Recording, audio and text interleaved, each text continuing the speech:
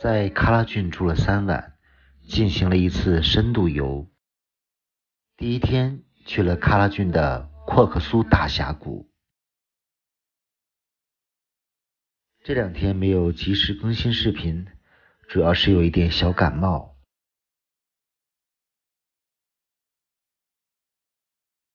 这是阔克苏大峡谷里的人体草原。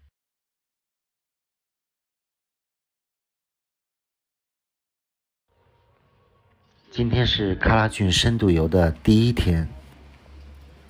喀拉峻景区非常大，方圆几十公里，一天是玩不完的。目前喀拉峻景区主要分为两大部分，一部分就是今天去的阔克苏大峡谷，另一部分就是更加著名的喀拉峻大草原。这次看到这欢迎你们，请上十号线小心。我个人建议在喀拉峻要玩两天，所以至少要在这里住一晚。我们第一天选择的是游览阔克苏大峡谷。阔克苏大峡谷需要乘船进入。大峡谷的门票和车票船票一共是一百五十元，而另一部分喀拉峻大草原门票是一百三十五元。如果买两边的通票，两日游的价格是两百七十五元。今天带大家先逛一逛这个阔克苏大峡谷，坐一段游轮之后，开始坐景区的交通车。交通车有三个停靠点儿。现在来到。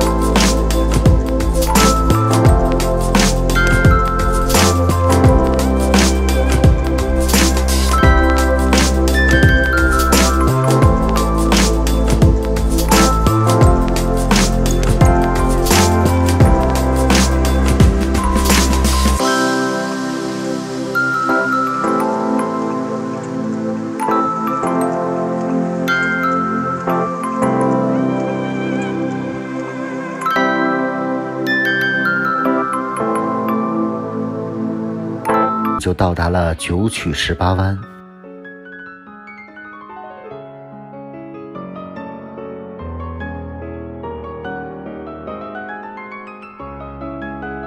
可以看到前面峡谷里的河流，九曲十八弯。现在进入的这个部分就是大峡谷的人体草原。其实，在去往穷库什台的路上，也有很多的人体草原。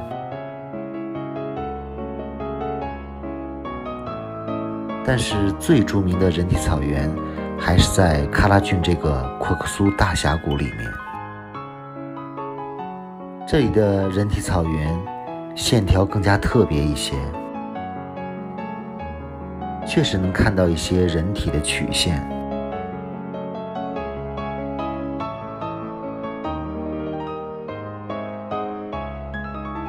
看看这个人体草原多美！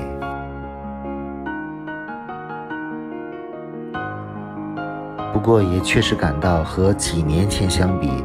这里的草似乎没有那么绿了。这是望向峡谷里的九曲十八弯，旁边的峡谷山坡上就是人体草原。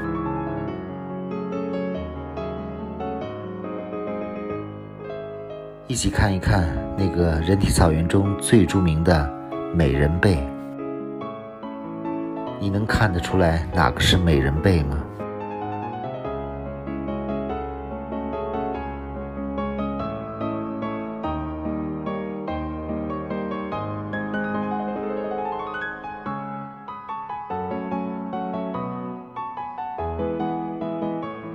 看到那个像臀部的形状，或者是背上腰眼那部分的形状吗？可能今天的光线不太好，拍出的效果一般。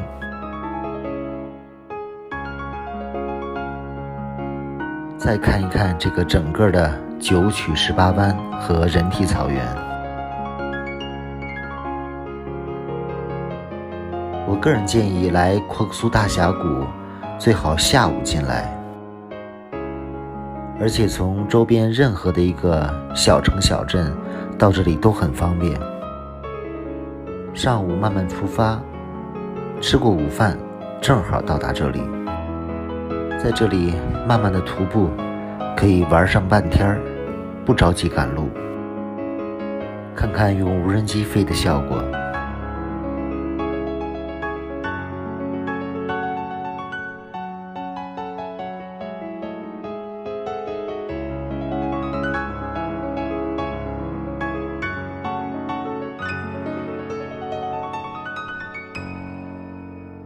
今天的天气不太好，没有看到日落，很多游客都慢慢散去了。这个是在人体草原上表演骏马飞驰的当地牧民。他说今天天气不太好，没有人邀请表演。在喀拉峻玩两天的话，住宿的选择是个问题。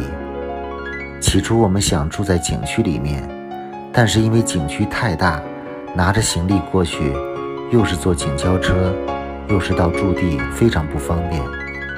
而且景区里的住宿相对简陋，而价格又非常贵。最终我们放弃了住在景区里，而选择了住在景区门外的一个酒店。而酒店离第二天要去的。喀拉峻大草原景区又不远，感觉我们的选择是正确的。这个酒店非常的舒服，估计是整个喀拉峻景区这边最好的一个酒店了。而价格只有景区里面不能洗澡的小木屋的价格一半儿。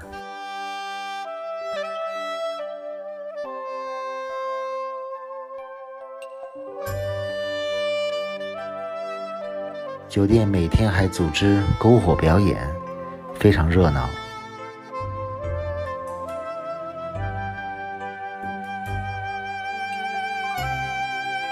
这些哈萨克小姑娘，既是服务员又是演员。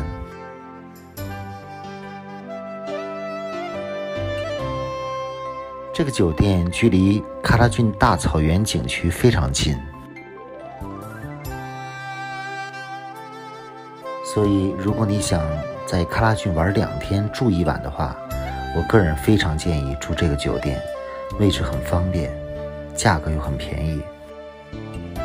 明天准备去喀拉峻景区的另一半——喀拉峻大草原，非常精彩的一天。请继续关注明天的喀拉峻之旅。